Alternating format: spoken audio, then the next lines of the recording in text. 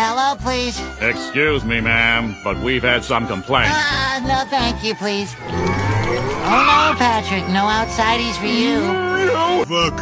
No, fuck. He said no bid, please. What does that even mean?